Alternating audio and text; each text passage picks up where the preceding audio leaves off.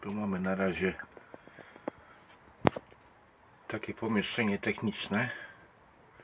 Modem LTE ZTE internet działa. To wszystko będzie zabudowane w szafę. Dodatkowo będzie dołożony serwer na terminalu linuxowy. No i przewodzik sobie idzie ładnie upięty na zewnątrz. Tu mamy dodatkową skrętkę na strych.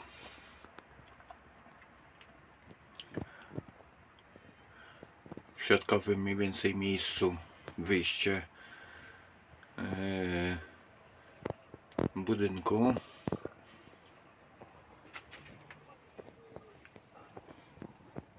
no tak, tak, na razie to wygląda.